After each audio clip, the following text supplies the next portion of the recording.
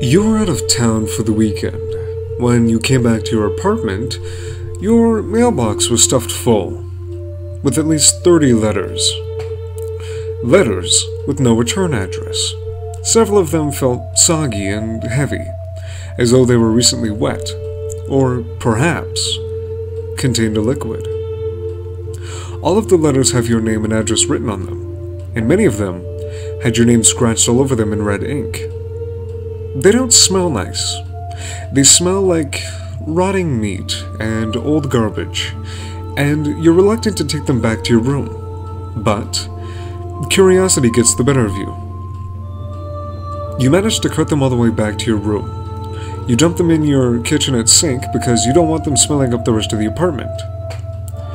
You grab one that doesn't seem damp and isn't covered with writing, and open it up. There's pictures inside. Pictures of people you don't know, with their eyes torn out, teeth missing, unhinged jaws hanging open, throats ripped out. You're horrified, and yet you can't help but wonder what's in the rest of the letters. You open more and more to discover increasingly gruesome photos of dead people.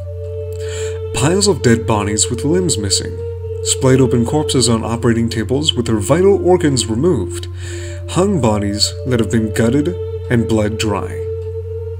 Some of the letters had blood and other fluids in them.